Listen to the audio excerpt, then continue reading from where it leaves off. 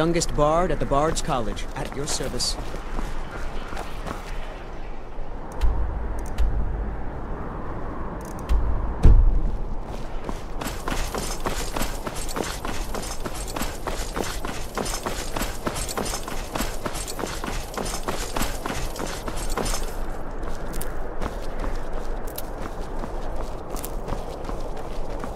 One of the guards said he saw a mage appear out of thin air.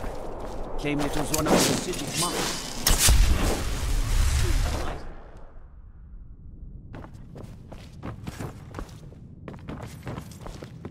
Good to see you.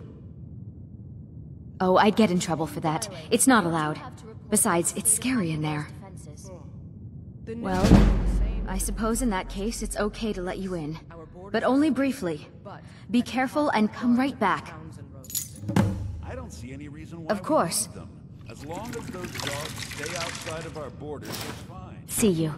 The Stormcloaks are far from the only threat to the hold. The roads are beset by bandits and beasts, and now there's even talk of unnatural bloody magics dragons. are coming from that cave. There are strange noises and lights. We need someone to investigate. Then we will immediately send out a legion to scour the cave and secure the town. Haafingar's people will always be safe under my rule. Your Eminence, my scrying has suggested nothing in the area. Dragon Bridge is under Imperial control. This is likely superstitious nonsense. Perhaps a more tempered reaction might be called for? Oh, yes, of course, you were right. Falk, tell Captain Aldis I said to assign a few extra soldiers to Dragonbridge. Thank you, Jarl Elisif. But about the cave. I will have someone take care of the cave as well, Varnius. You can rest easy. You're dismissed. Steward, I will need the following I've got what I came for. I better get back to Please see Dragonbridge. I've done my part. Stentor. Dragonbridge will have extra These are quite guards. expensive. Falk Firebeard will find a way to take care of the know cave. limited the hold's. Until next time, Yes, and I'm also aware of how necessary my divinations and wards have been in the city's defense. It's always good My to see someone I can ask count on. return.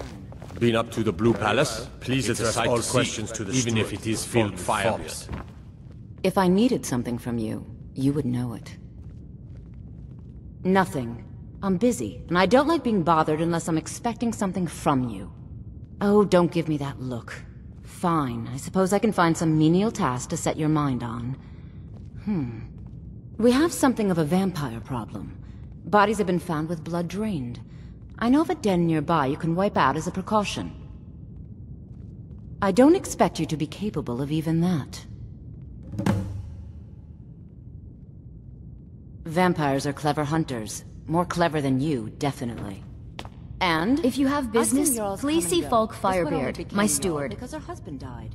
She'll be Because that's what in a matter of traitorous cowards do when they desire power. Stentor. Ulfric coveted the High in the Jarl's King's throne. He thought he deserved it more than Torygg. exactly? This And so he came before my husband, and he- if you'll excuse he shouted. My work awaits. with that terrible voice. Like something out of a legend. Or a nightmare. When Ulfric unleashed such fury, my husband, he... he simply ceased to be. That is all I will say. For it grieves me to speak of it. Not yet, no. Although it is true my husband Torygg was the High King, and I am his widow. Now is not the time to lay claim to such a title. This land is riven by war, and her people suffer for it. The Stormcloaks are a blight on Skyrim, and like any blight, must be purged. Only then will I take my rightful place as High Queen. Hmm. A question I am all too familiar with. One my very Thanes ask often. They worry that Tullius is so focused on the war that he risks forgetting what's best for our people. The real irony is that, while General Tullius is certainly no Nord, the people of Skyrim would be lost without him. Trust is always difficult, especially for my people. Yet we must trust in Tullius's leadership. For what other choice do we have? oh, I thought that matter was handled. I think Falk is taking care of that. Well, if you insist.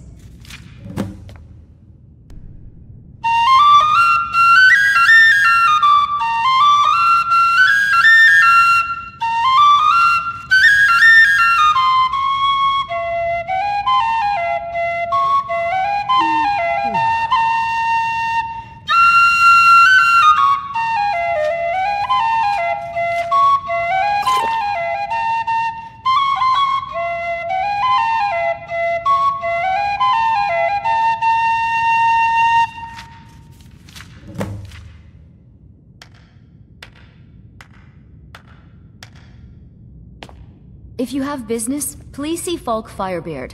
You've done well. Be well. Pray for solitude and my husband. Do you have business with the court? Oh, right, the rum. Thank you. I developed a taste for it after a fair weather trip to Hammerfell. Here, this is for you. The Jarl has put out a bounty on some bandits. Here, take a look at this decree for details. You mean the Dragon Bridge issue? I'll be honest with you, I was planning to let that go. Varnius is a bit jumpy at the best of times. There have been reports of weird happenings near Wolfskull Cave. Travelers disappearing, odd lights. I suspect wild animals, or perhaps bandits. I don't think it's worth our time with the war going on. But if you want to clear out the cave, I'll make sure you're repaid for your work. The cave has a bad history. Long ago, Potema the Wolf Queen used it for necromantic rituals. That's where it got the name. That was over 500 years ago. Nothing much down there now.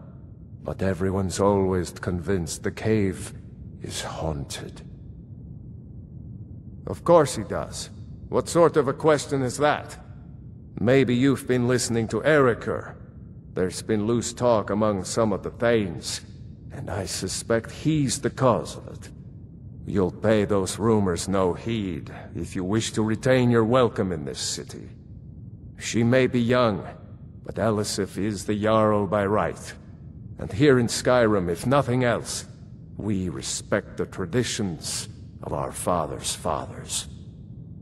You do well to remember that. That remains to be seen. By rights, she has a legitimate claim as High Queen of Skyrim.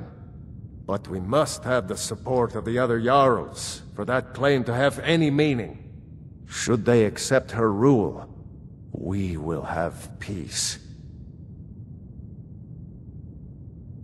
Feel free to return to me with questions. The Blue Palace is an open...